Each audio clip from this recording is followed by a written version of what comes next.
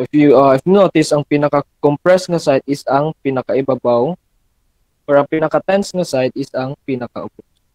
So, pasabot nasa outermost fiber ang maximum nga stress nato. So for this koan, for this uh topic, ang ato ang maximum nga bending stress is na-experience sa outermost fiber. So natay, uh, if you makita no natay 0.0 diri sa ibabaw, this is this. Sir, Yes? lingris ug hansi kan sir. oh. Oh, sorry, wag ko kumatikot. Unsa si kita ni si RG? Hi sir, good afternoon. Yes. Mag-asma Yes. sir to naka-record back ka. Oo, nagkuan pag-ulan. Okay. Katong ganihan ni post ko kay nakalimot ko. And then mo to, bago bago- bago pa ako na record.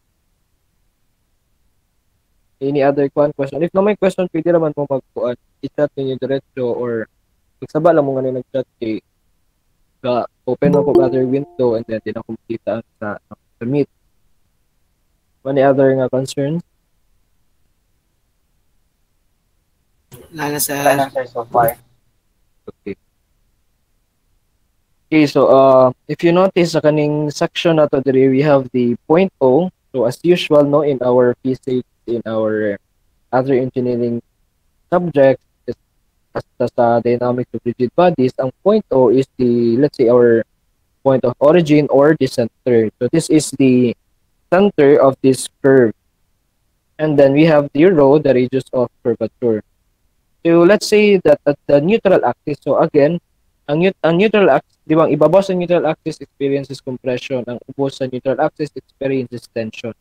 The neutral axis is not in tension or in compression. So wala ni siya ni undergo ang o kuan tension or compression at the neutral axis. So geometrically sa ato ang mga analysis for uh, bending stress if it wala indicated na asa ang compression or tension dapit So generally atong ginagamit ni neutral of axis, uh, neutral axis is ang kuan, neutral axis sa section or kung rectangle na siya nasa center. So let's say we uh, consider we have points A and B diri sa ato ang kuan uh, section or sa diagram. Point A and B. And then let's say from this point at the neutral axis niisbog ka downward. So at the direction of the radius. So ato na siyang tawagon nga y. Y direction. And then so kani si y direction is within ni siya kauban sumpay ra ni siya sa row nga or radius curvature na to.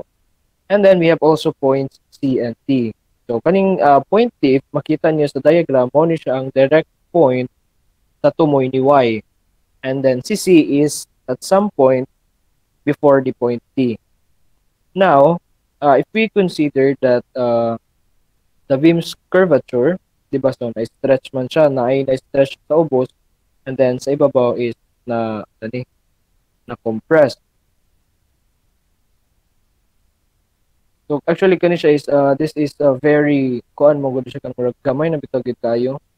Tungod sa iyang kagamay, mura ni siya mo form og triangle. No, di ba? So, kay question sa uh, dynamics of rigid bodies gani under curvilinear motion. Uh, what happens if ang curve is almost straight daw? Kuno unsay pasabot pud ana if the curve is almost straight pasabot ako kay siya radius no? That is for kuan tako if tako kay siya and then the curve is almost straight mura siya straight line tan-awon ang curve. So same also here tungod sa kuan kadako sa kuan I mean kagamay sa uh, stretch or sa bending naa siya murag ma-form of triangle. We have the row the A and the B di ba?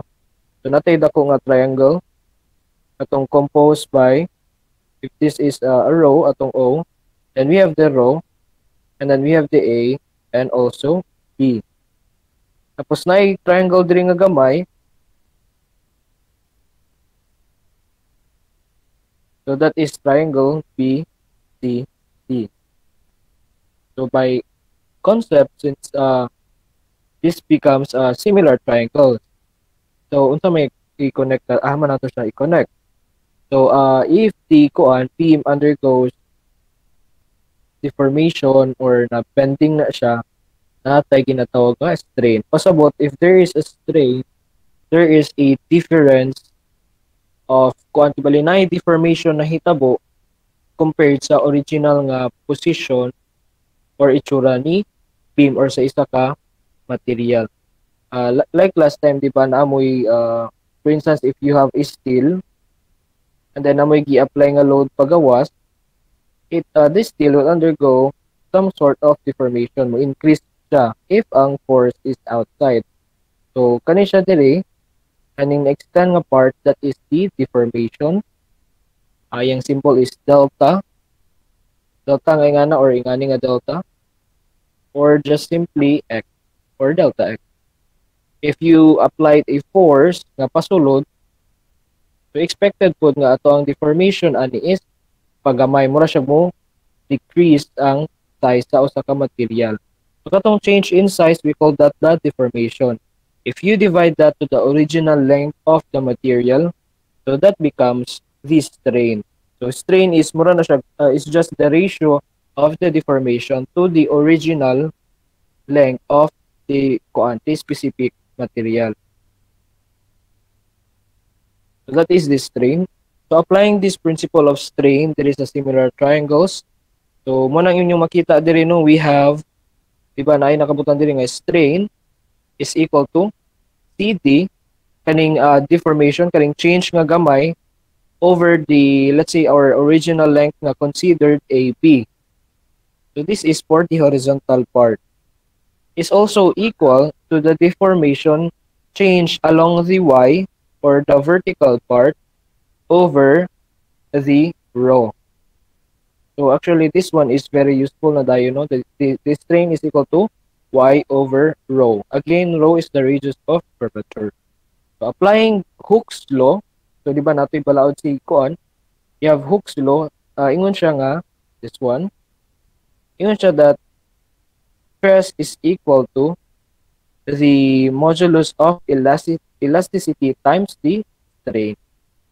So, solving strain, natin makuha nga that strain is equal to the stress over the modulus of elasticity.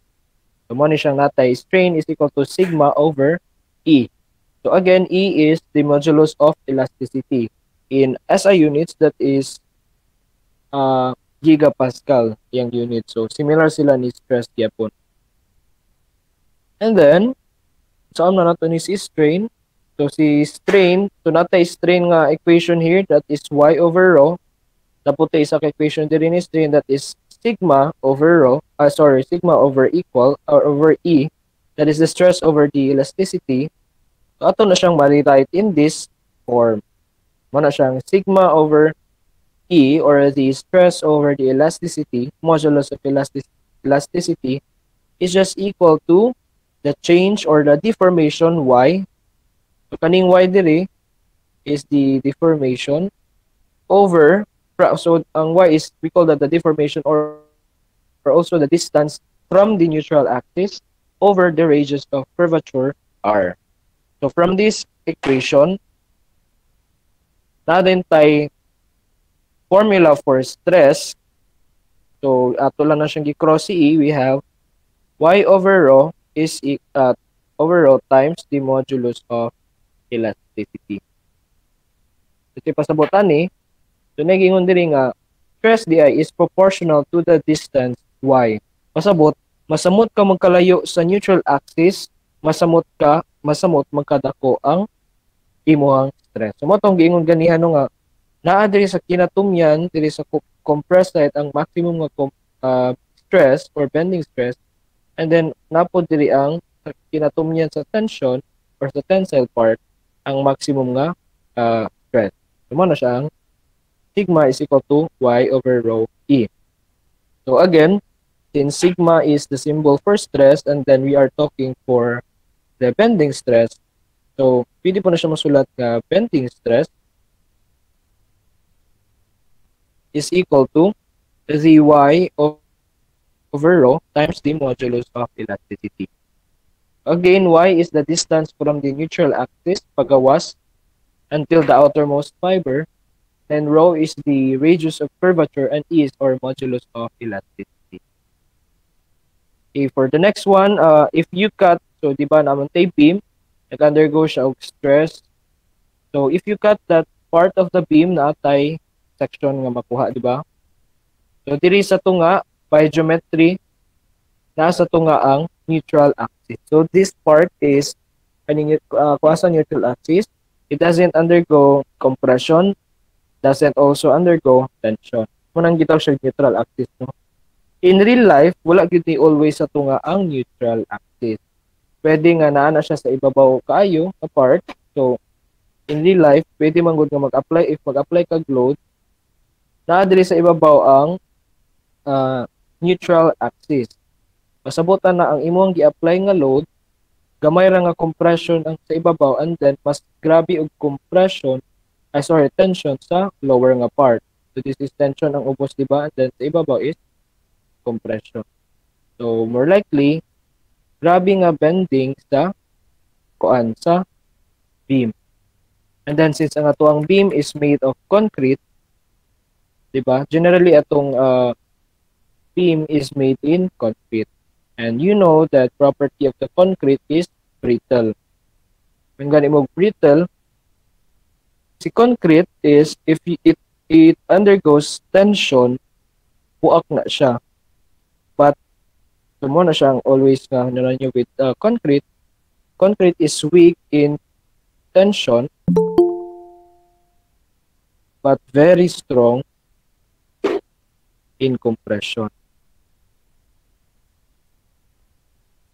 So sama sang ging ganyan di ba if you applied load high nga mas dako dako, pwede mo saka si ano neutral axis, pwede po na siya mo naog depende sa uh, available nga support ug applied na load. So for instance, akong example is ni saka si neutral axis and then kani nga part diri sa ibabaw that is the compression side and then mas dako si tensile nga side.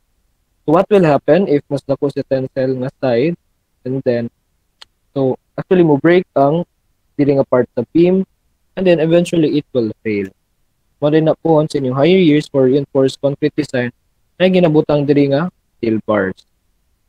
To cater the tensile stress experienced on the lower part of the beam. So, ag tumama na siya ang steel. That is the property of the steel that it is very strong in tension. Is steel. So, siya may mag-cater sa uh, tensile part. Okay, moving on. Tumoto siya in kung ano in in design.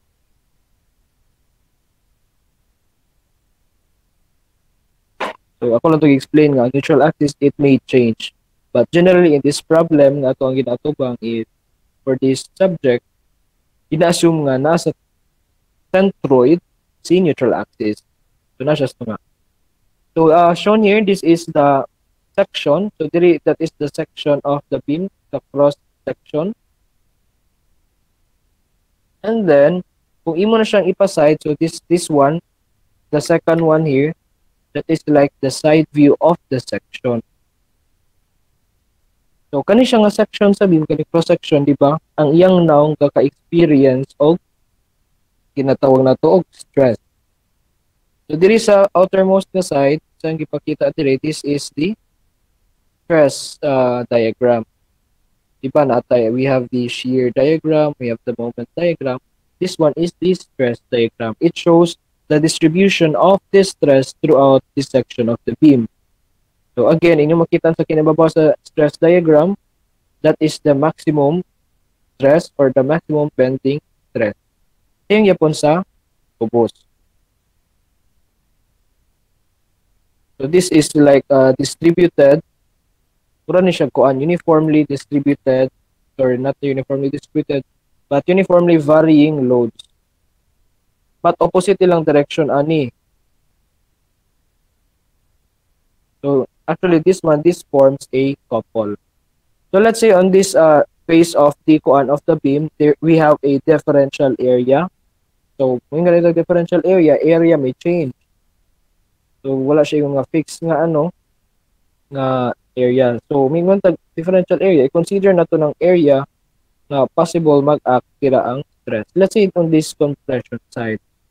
If we have an area and then kusabot natay differential force or force nga act on that side. We ha- by we have the symbol dF for the differential force. Now, kaning location ni differential force from the neutral axis ato nang tawagon og y. Ato gingon ako ganiha. So, diba? So, we have the y. And then, unsa may naani? So, the force acting on the area. So, palanglitan, diba, diri we have a triangular, yeah, uniformly varying load. And then, ang tinatakan niya nga force is FP. So, ang force nga gaak is just equal to the force, uh, this one, times the area naman na siya. Yeah. So, we have here the differential force is equal to the bending stress times the differential area. And also, napunta formula, di ba nga, stress is equal to force over area So, force is just equal to stress times the area. And then if you have a differential force, because force may change, if area is changing. So, muna siya dili. You have dF is equal to the bending stress times the differential area. And then, natay usa ka formula, di ba, with uh, bending stress. We have bending stress is also equal to y over rho times the modulus of elasticity katong gipakita na ko tinyo kaniya. So substituting this value of the bending stress nga y over rho times e, so we will have this y over rho times the elasticity times the differential area.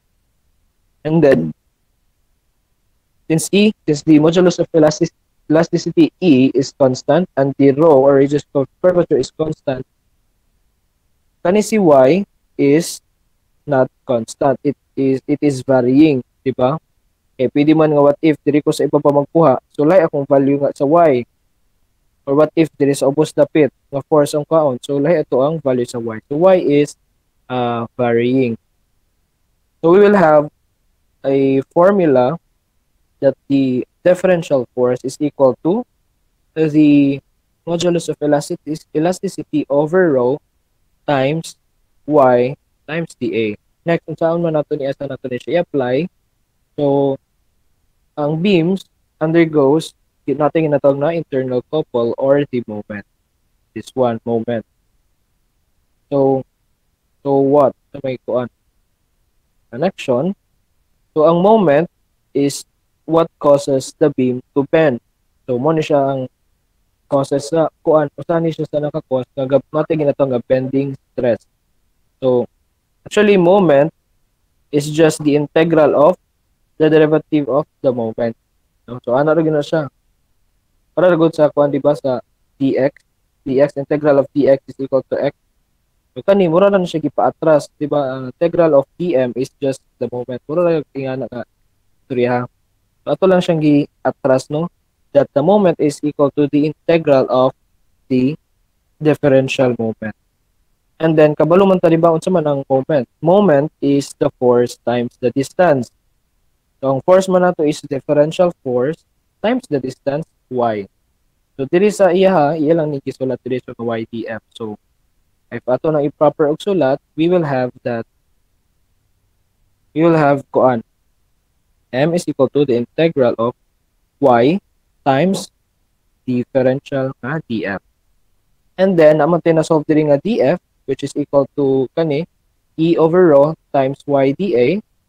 Ito na substitute with df, we have, will have y times the modulus of elasticity, elasticity over the radius of curvature times y dA.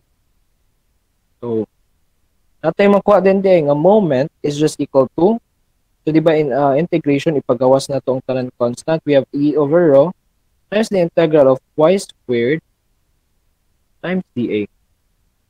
If you notice on this side, this is the what? This is the centroidal moment of inertia. So, mana diba equals to y squared A area times the square of the y. That is the centroidal moment of inertia.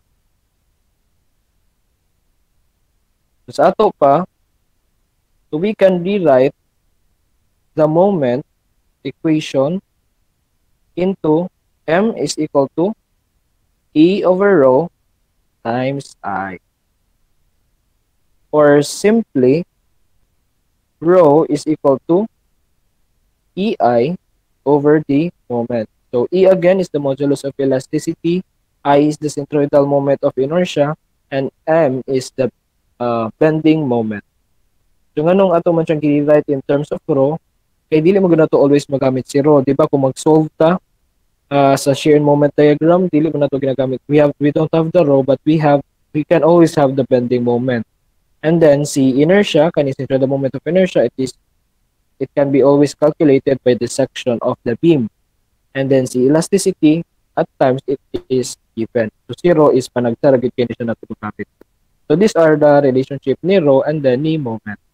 So if you remember, we have a formula, di ba nga, bending stress is equal to, sa ganito, E over rho times Y. Ay, sorry, yeah. E over rho times Y. And then, natay value ni rho na EI over M. So, ato lang na substitute, we have EY over ang value ni rho nga EI over M. So, this is just the numerator times the reciprocal of the denominator. So, may mo na siyang M over EI. So, pwede na na ninyo matamataon diretso. So, makancel si E, elasticity. So, mabili na lang din sa ito is that the bending stress DI is equal to the bending moment times the distance y from the neutral axis over i. So again, if if we have a beam and then this is the neutral axis dire, so ang y again is ang distance anywhere from the neutral axis. Now, unsa di pasabot sa unsa may pasabot ani agani as mentioned earlier nga mas magkadako ang y pasabot mas magkadako ang bending stress. So mo na nga ato ang maximum nga bending stress is makita na to sa outermost fiber. Atong simple ana is C. This is the distance from the neutral axis to the outermost fiber.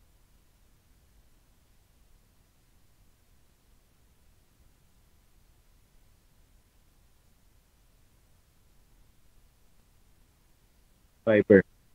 According to nga atong na-conclude that the maximum bending moment di is equal to mc over i. Mao na ni. So, na natin tulog ka equation ni ano no, bending uh, moment. So, to, eh, we have the e over rho times y. We also have the second one, mc over i. So, i-take na po ninyo kay at times magamit man nato niyang isa ka formula. Okay. Tumoto siya ang derivation. Medyo taas-taas, no? Next is, last na lang nga content derivation na to is we have the section modulus. So, saan yung section modulus? Aning section modulus, no, yung symbol ana is just letter S.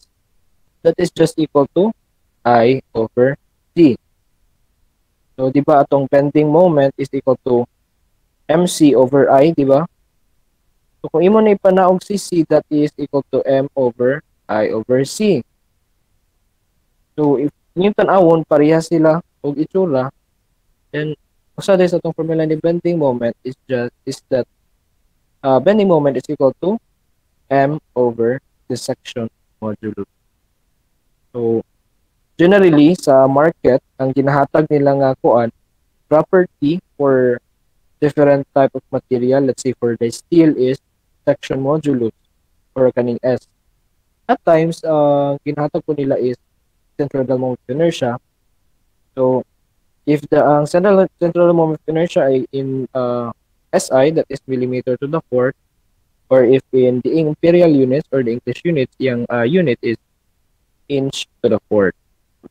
So, section modulus, I over C mo na siya. So, that is millimeter cube, cubic millimeter, or cubic inch in the English unit. So naa na ditay tulo ka timan-an nga formula for bending stress. The first one, we have the bending stress is equal to the modulus of elasticity over the radius of curvature times the y atong location from the neutral axis. Next, other formula ni uh, bending stress is we have the my over i or if the maximum bending stress ang atong i-consider that is mc over i. And then the third one ay ang formula.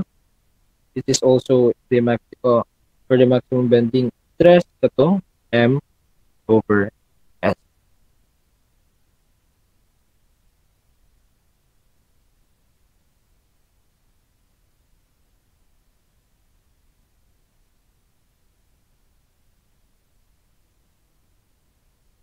So far na get sila.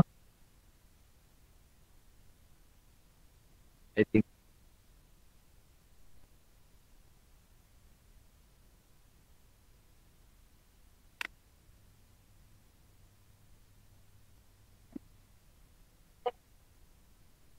Okay, so moving on, let's uh, have our first sample. Meaning first sample na to is just the problem that I gave you earlier for the quiz para makuha ninyo. So we have a given here. Uh, this is a cantilever beam. So ang dimension sa beam is 50 millimeter wide by 150 millimeter high. So sa to pa ang width niya is 50 millimeter, this one. And then ang height niya is 150 millimeter. Then ang length sa beam is 6 meter long. It carries a load that varies uniformly from 0 at the end. So that's why it is 0 here from the end. Uh, from 0 at the free end. So this side, we call this the free end. The free end. And, and then this side, we call it the fixed end. So it varies from 0 at the free end to 1000 Newton per meter at the wall. So yung cantilever side, this is So we were asked we, first the magnitude and location of the maximum flexural stress. Second, the type and magnitude of the stress in fiber 20 millimeters from the type of the beam at the section 2 meters from the end. So ang first is ang gipangayos sa is maximum nga stress. Ang second is the stress at the push at the location nga pila to 20 millimeters from the top of the beam.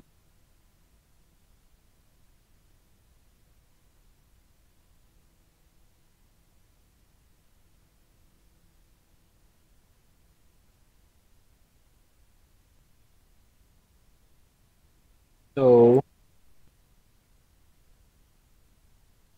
so ang first na tubuhaton is that say given, so we have a load, we also have the length, we also have the width and the height of the beam. So judging from this given, no, we have the uh, width. So ang symbol na to, width width is P. Mo na din inyong gamiton na symbol pag abot ninyo og RC reinforcement width po ninyo. So the height of the beam is 150 millimeters. Length of the beam is 6 meters long. And then nata uh, uniformly varying load na 1000 Newton millimeter per millimeter. So determine the maximum uh, the magnitude and location of the maximum. So this is a fixed beam. This is a cantilever beam. So as ang location ni maximum flexural stress. So the location of the maximum flexural stress, ito ganito kong giingon, uh, location of the maximum flexural stress as per section is kaning C. This is the location from the neutral axis paingon sa outermost fiber. So ang height man niya is 150 millimeters and then our neutral axis is taas sa tunga by symmetry. Yes, kuan, Eljan.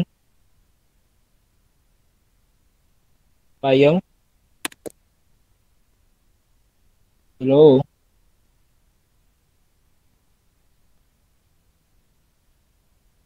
Nag-raise mo to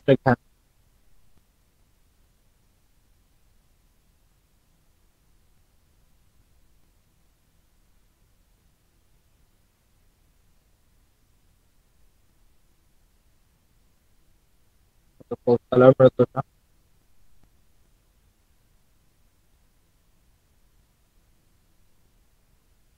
Okay. So, uh, okay, so this is a cantilever beam and then ingon siya kung asa ang maximum moment.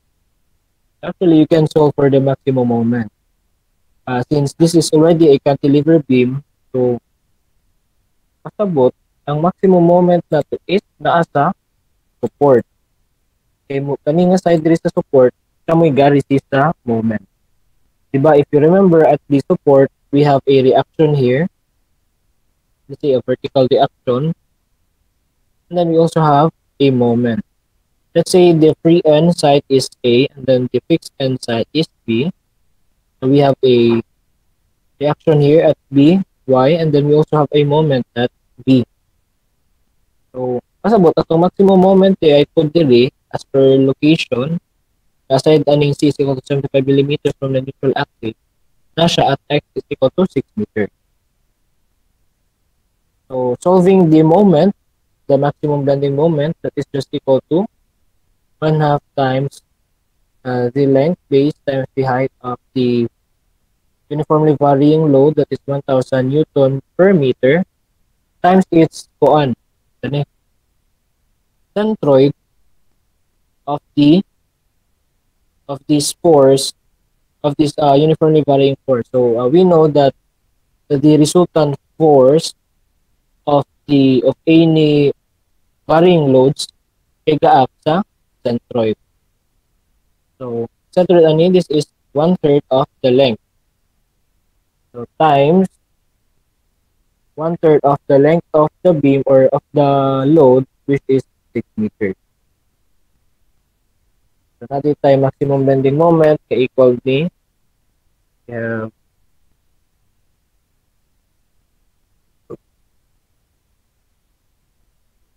So natay load na 6,000 Newton meter. So this is our maximum moment. Next, we can have our C. Our C is 75 millimeters. And then, sa ato pa, pwede din nato from the in this problem, ang formula nga gamito nato for bending stress or the maximum bending stress is equal to MC over I. So we already have the M, we already have the C. Next is our I or the centrifugal moment of inertia. Since this is a rectangle, yun na i-memorize, i-familiarize, the centrifugal moment of inertia of the rectangle is just equal to 1 over 12 times BH cube. We have 1 over 12 times the base which is equal to 50 millimeters times the height which is equal to 150 millimeters cube. Natin makuha nga centrifugal moment of inertia is equal to 14 million 62,500 millimeters to the fourth.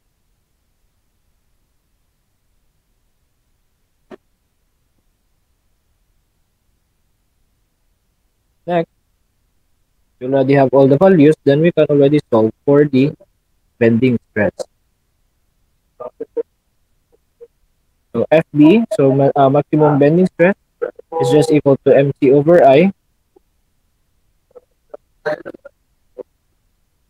So at the moment again, that is 6,000 Newton meter.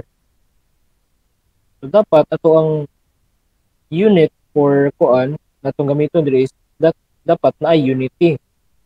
So if you notice ang atong M is Newton meter, atong C is 75 millimeters, and then our inertia is 14 million 62,500 millimeter to the fourth. So na dili sila united na ay meter and then ay naka millimeter. So to get rid of the meter, so ato lang na siya multiply of 1,000 millimeter per 1 meter. Ma-convert na din yung meter into millimeter. So, itong maximum nga bending stress is equal to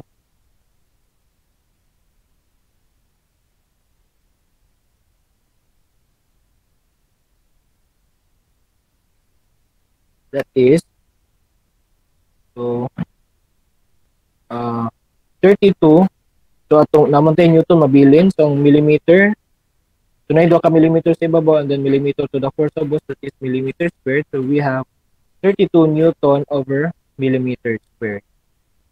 And we know that the Newton millimeters per millimeter per square millimeter just equal to 32 megapascal. Therefore, atong maximum bending uh, stress is 32 megapascal. Next, ang ipangaya sa to is the magnitude of the stress in a fiber 20 millimeters from the top of the beam at section 2 meters from the BM.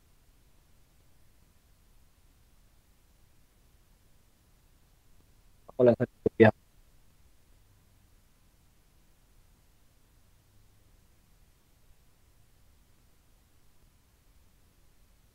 Next, ipangay sa to ah, is the bending stress at x is equal to 2 meters and then located at 20 millimeters from the top of the beam.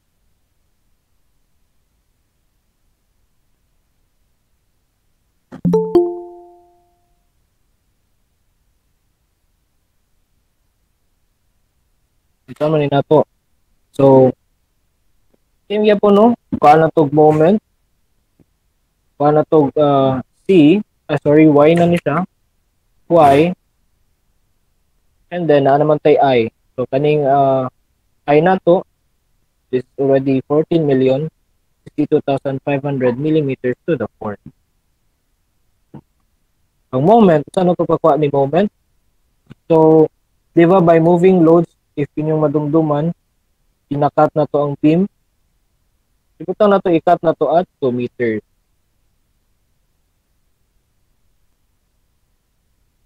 This is already 2 meters.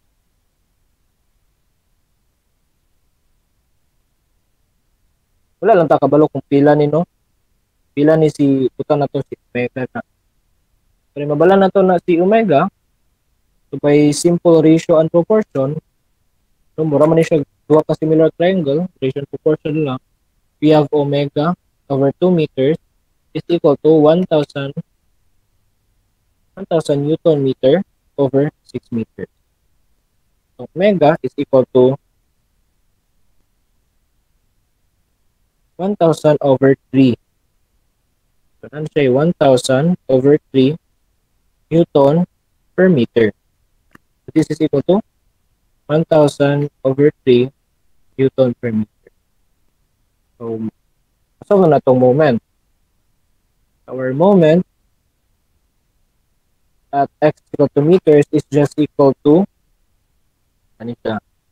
That is 1 half times 2 meters base times height 1000 over 3 Newton per meter times again ga gaak siya sa 1 third di ba this is the force siya sa 1 third sa length or 2 meter so that is times uh, 1 third of 2 meters ano natin makuha nga moment equals to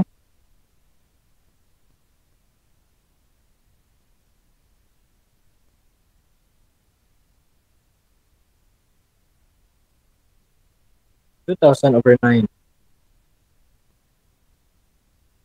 2,000 over 9 Newton meter. Pwede na po nato i-convert ni ng meter diri into millimeter by multiplying 1,000 millimeter per 1 meter. So we have a moment is equal to is 2 million over 9 Newton millimeter.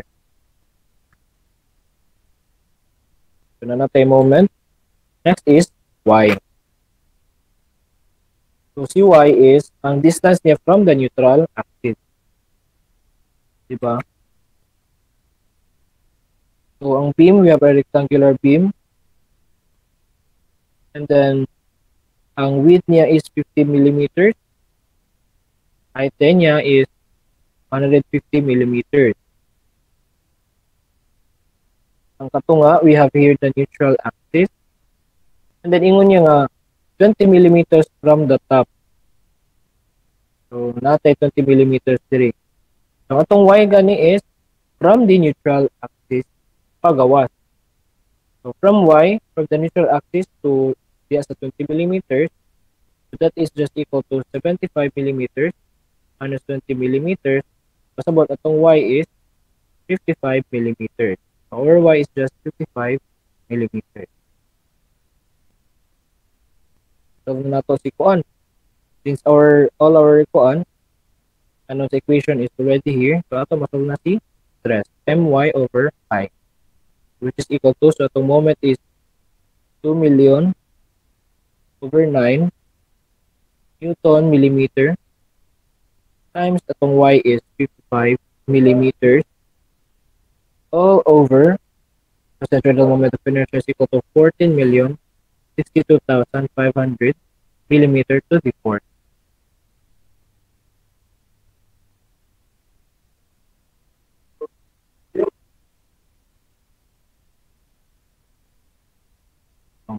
Uh, bending stress at the at x is equal to 2 meters and 20 millimeters and then at 20 millimeters below the top of the beam is equal to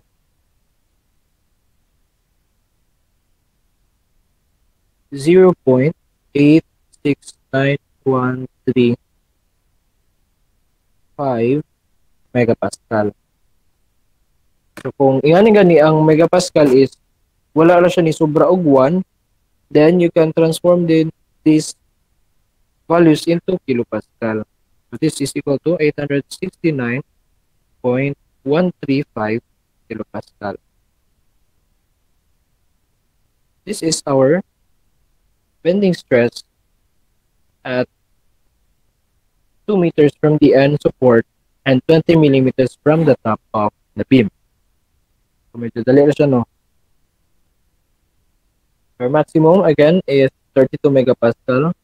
And then at x is equal to 2 meters and 20 millimeters from the top, our bending stress is 869.15 kilopascal. Your next uh, problem is itong kuan problem number 2 ninyo sa iyang third quiz. So last time ato ang taning sample is a cantilever beam. This one is a simply supported beam. A simply supported beam 2 inches wide by 4 inches high and 12 feet long is subjected to a concentrated load 2,000 pounds at a point 3 feet from one of the support. So we were asked the maximum fiber stress. So usap po siya sa term na to no, for bending.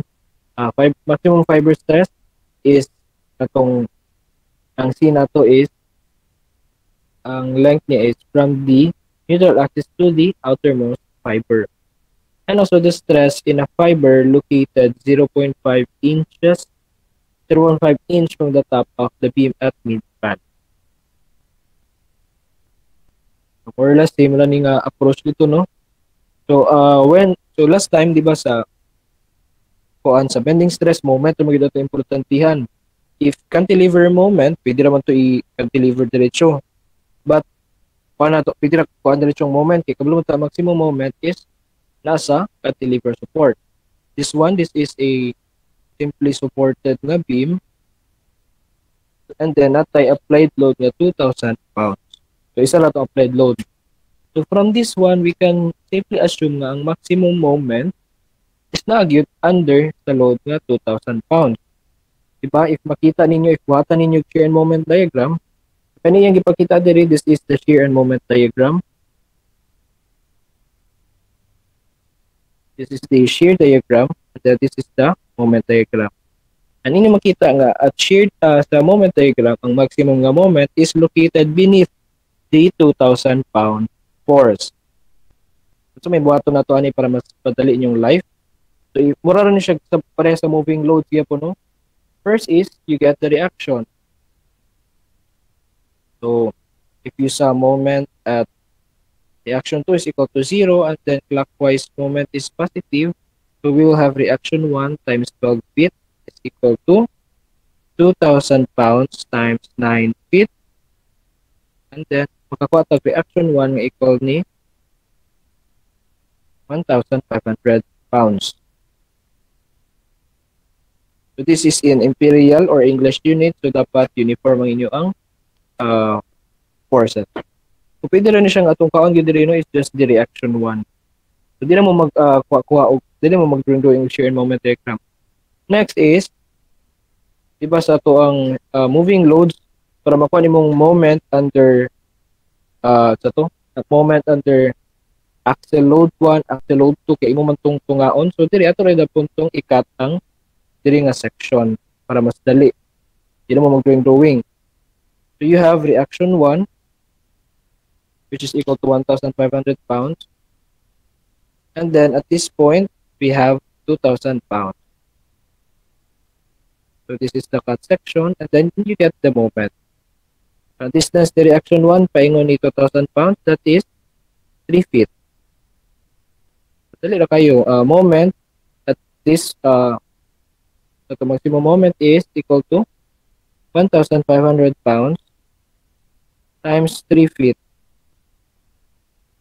So that is equal to 4,500 pound foot. Pound foot po ang ato ang unit ni moment.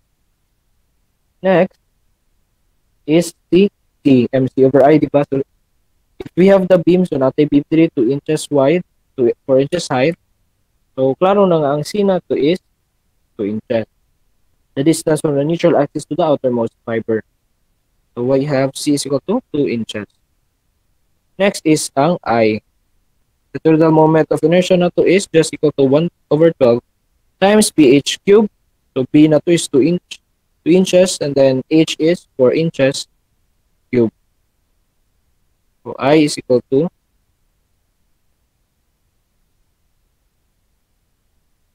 32 over 3. 32 over 3 unit na to is inch to the fourth. Having already all the values, we can solve for the maximum bending stress which is equal to MC over I. MC over I equal to 4,500 pound foot times C, 2 inch, 2 inches, over 32 over 3 inch to the fourth. If you notice, ya ang units is not ko ano, united, na ay naka-fit, na apoy naka-inches. So si feet ato na i-change. So if you multiply the elevation with 12 inches per 1 foot. So makansel si foot. And then, we have inch squared here sa ibabaw. Kaning ubos, may mo na lang ng inch squared. Our maximum bending stress is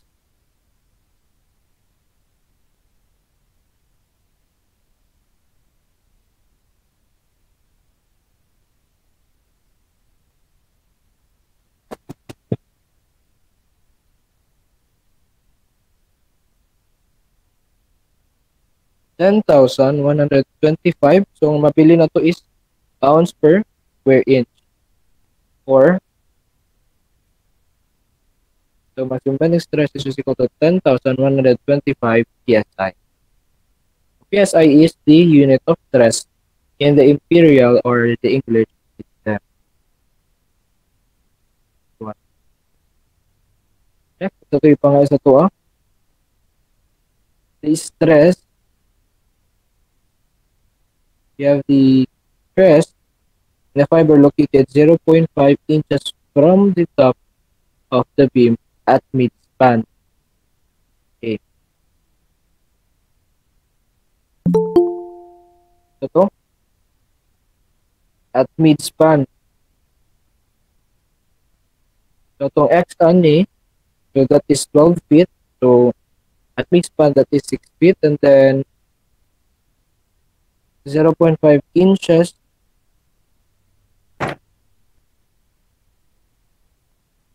Inch from the top of the beam from the top of the beam.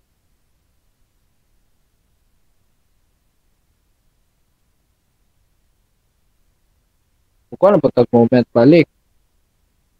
Moment. And then y. And then atong i is just constant no? Kay constant naman iyang shape throughout length. Atong 32 over 3 inch to the fourth. Okay.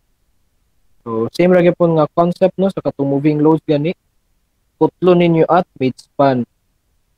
So natay reaction diri R1 na to is 2,500 pounds. And let's say this is the midspan. Paano ba na to siya? Moment. And then diri natay 2,000 pounds, di ba? 2,000 pounds is 3 feet from reaction 1. Dato pa kay 6 feet man sila tanan, dato pa 3 feet pud sa diri pita. Reaction 1 that is 6 feet from the cut section. Dali ra, moment is just equal to 1,500 reaction 1 times distance niya nga 6 feet minus 2,000 pounds times 3 feet. The moment, at distance or at midspan is just equal to 1,500 times 6, 2,000 times 3, 3,000 pound foot. Then since nakita naman ninyo nga inch, uh, inches ang ato ang unit nga gamiton for kuan stress, so ato na i-convert ang foot into inches. So pwede na mo multiply down diri og 12 inch per foot. At the moment is 3,000 times 12 inch per foot, that is 36,000 pounds inch. Next, i-determine na to is si y. y. Go what shiny. Why did the sea rush to? So, itong width is 2 inches. Atong height is 4 inches. Then we have the neutral axis sa tunga. So, nato pa na tunga. And then, 0.5 inch daw from the top. From the top, inaog kag 0.5 inch. Natong y is from the neutral axis paingon sa sa to ng 0.5 inch. So that is 2 inches ni siya and then minus 0.5 so that is 1.5 inch. Atong atong uh, YDI is 1.5 inches. And then our moment is 36,000 pounds. Pounds inch. So, kompleto na ang unknowns. Then we can start solving for the bending stress at the midspan. So that is equal to my over i equal to 36,000 pounds inch times y 1.5 inch over 32 over 3 inch to the fourth.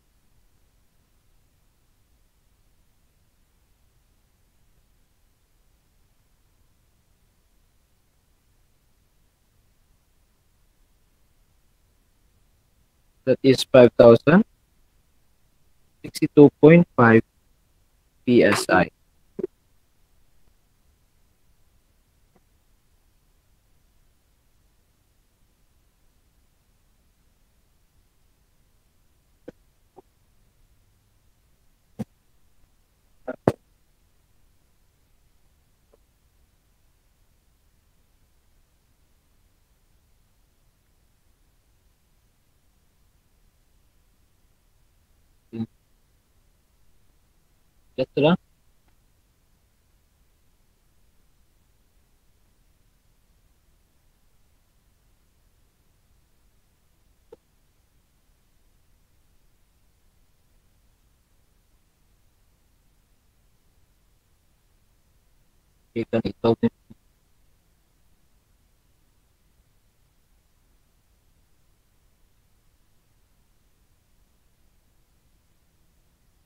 sabihin niyo sa GCR ang ah, answer sa classroom din.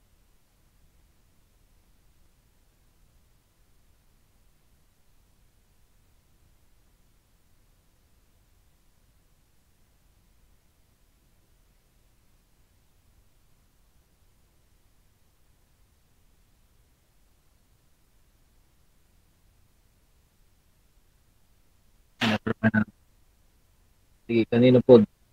Uh, hi high strength steel bend to 20 millimeter wide by 0.80 millimeter thick runs over pulley 600 millimeter in diameter. What maximum structural stress is developed? What minimum diameter pulleys can be used without exceeding a structural stress of 400 megapascal? Assume that the modulus of elasticity, elasticity is 200 gigapascal. Dili pa lang daan no, na natay dimension ni beam or ni kaning given nga band na to which is 20 millimeters wide and 0.8 millimeters thick. So inyong this one. And then nagyatag nga diameter 600 sorry, 600 millimeter ang diameter. So yung radius di rho na to is 300 millimeter. And then sa other given. Other given na to is 200 gigapascal. If you write the given, makita ninyo kung unsa nga formula sa bending stress to ang gamiton. So, diba natay tulo ka uh, formula for bending stress. We have uh, bending stress is equal to mt over i. We also have the m over s. Kung isa gani, we have the e over rho y.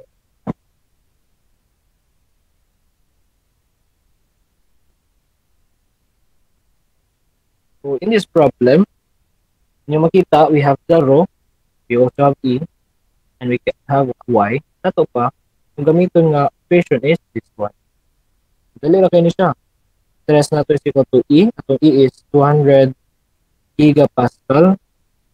So that is times 10 to the 3 megapascal times y na to, pila tong y. So again, y na to is from the uh, neutral axis paingon sa outermost fiber. So ang gihatag sa to is rectangular yung ani.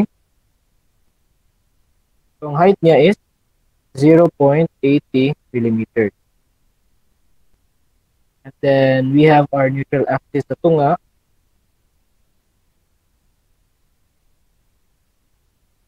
Ito ang y or ang c na to is sa tunga lang that is 0.4 millimeters. Mm. Atong Y or C3, so maximum stress niya is at outermost fiber man, 2.4 mm. Over the row, row na to is 300 mm. So, wala tayo conversion na nino, kay kani millimeters sa ubos, man sa millimeters sa ibaba dito. So we have a maximum bending stress automatically equal to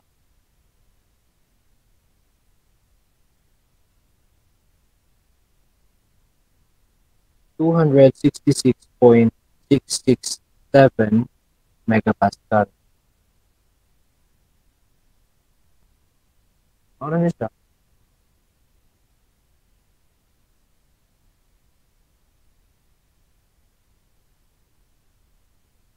Next is, pila daw ang minimum diameter daw sa pullays. Sa pullays without exceeding, exceeding. So second na to is, maximum diameter daw sa pullays without exceeding structural stress. So FB equal to 400 megapascal. So dali lagi pun kayo no? Same formula. FB is equal to pila to? E over rho Y.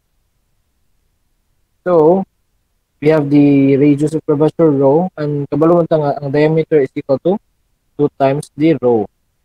Masobra na to na we have rho is equal to E y over the structural uh, stress. So na tayo 200 times 10 to the 3 megapascal times y na to 0.40 millimeters over structural stress na 400 megapascal. Makansel ang megapascal at ay makuha nga rho is equal to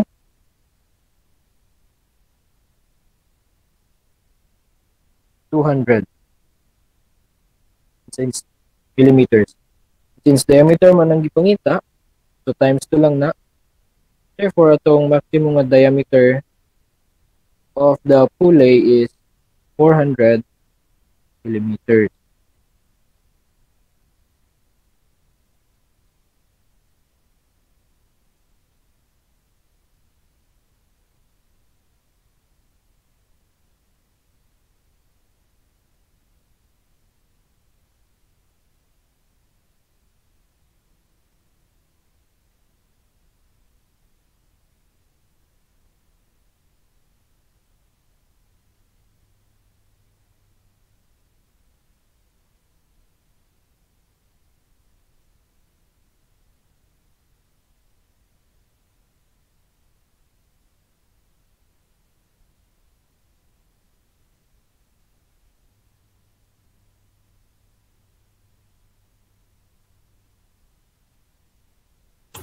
Wala na, sir.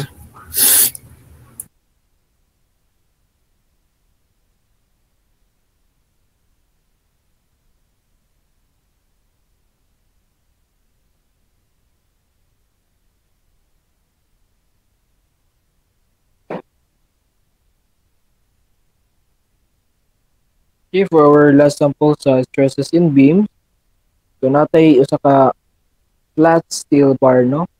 And then, yung width is 1 inch, and then the thickness is 1 4 inch. Then, yung length is 40 inches long. So, you, if you write the given, we have the width is equal to 1 inch, height is 1 14,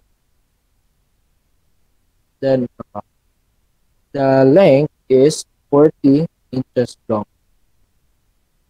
And then it is bent by couples applied at the ends. Again, on couples, this is the bending moment. No? So uh, couples happens when there are two forces of the same magnitude but uh, acts at opposite direction. So, muna siya. And then, ito pina, as the midpoint, so na deflection at the midpoint, delta is 1.0 inch. And then other given is the modulus of elasticity, 29 times 10 to the 6 psi. Pila daw ang stress in the bar and the magnitude of the couple. Ang ipangita sa to is stress sa bar. This is the, I think this is the maximum stress. And then the magnitude of the couple or the movement. Naman na to. We have the E, we have the deflection. Apo yung row diri no nga gipakita sa tuwa. If inyong tan-awon sa drawing, na tayo ma-form ka, uh, we have uh, we can form a triangle diri. So this is the row kaning green.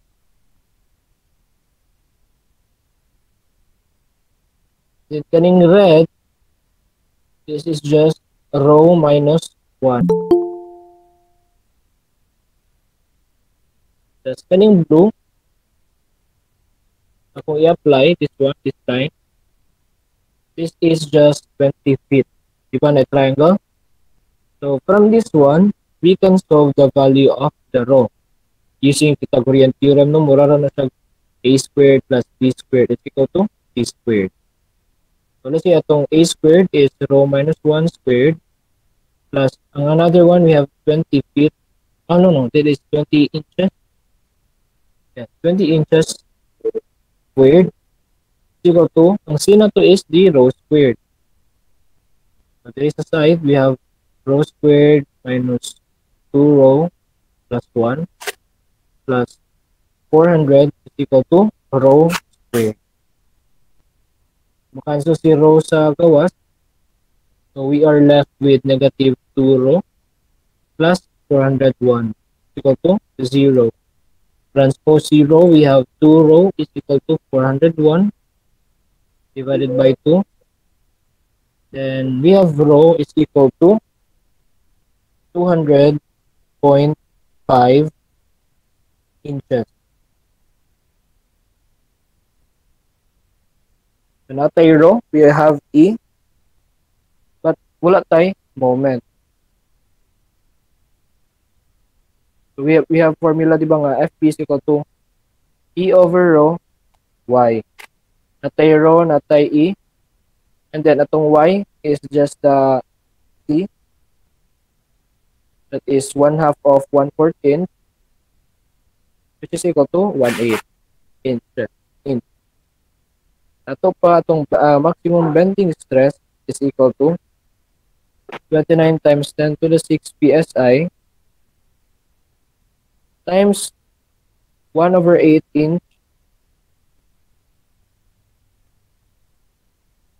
all over atong radius of curvature equal to 200.5 inches.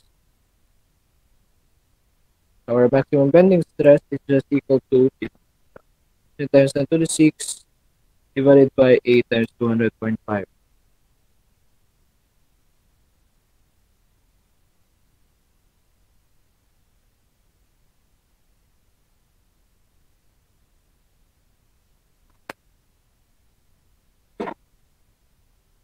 eighteen thousand seventy nine point eight thousand five eight thousand five PSI.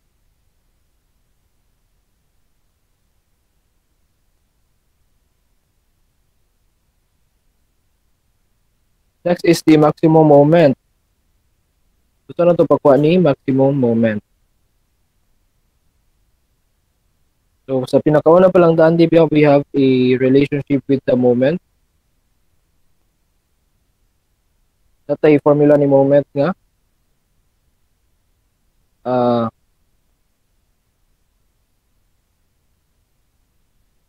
you have here that the moment is just equal to EI over rho. Actually, si moment, pwede lang yung ninyo count sa MC over I.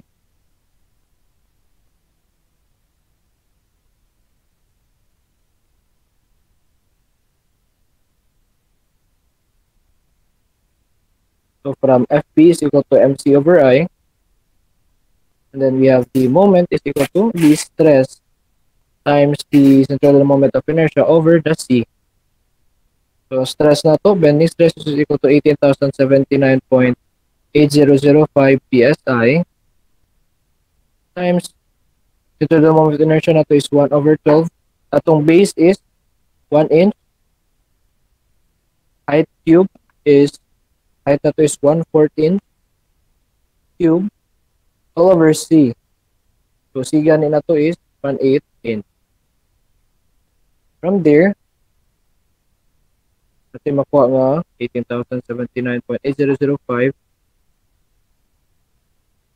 times 1 over 12 times 1 4 cube over 1 8. Itong moment is 188.331 pound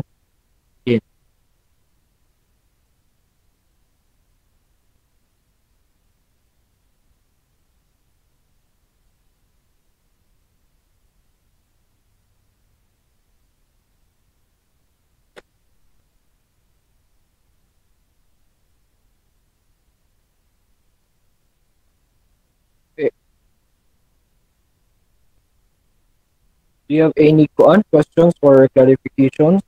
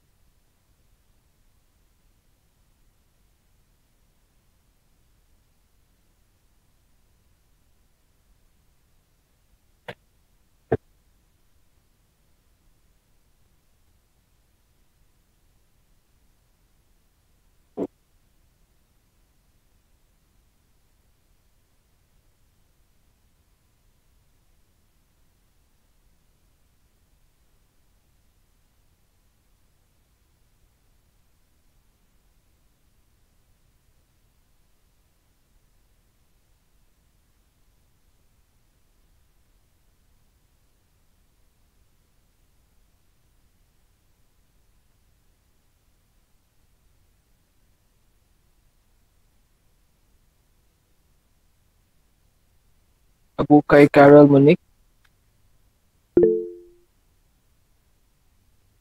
Wala. Alain Joshua Acero. Absent.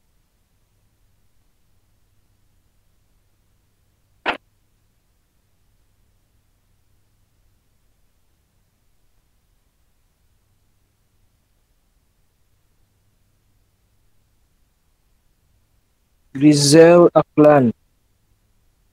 Nathaniel Alonzo. Rex Nino Bantog. Rodelyn Faith Bayawa. Chikaina Bigafria.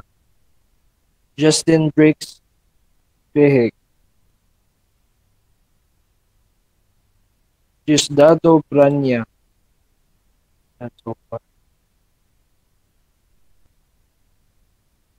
Kapuyan Georgian. Kaubanan Rose. London Grad Grades Delight. D. Zisine. Gulben John Lester. Hitotwani Aurami Mark. Homero Ron Melchizedek. Isaiah Emiliana Lahayon. Lowy Jim Lonzon. Sir, present. Maka Laika Shail. Mahmoud Hakima. Mingo Sherlyn May. Navarro Aljon Margatines.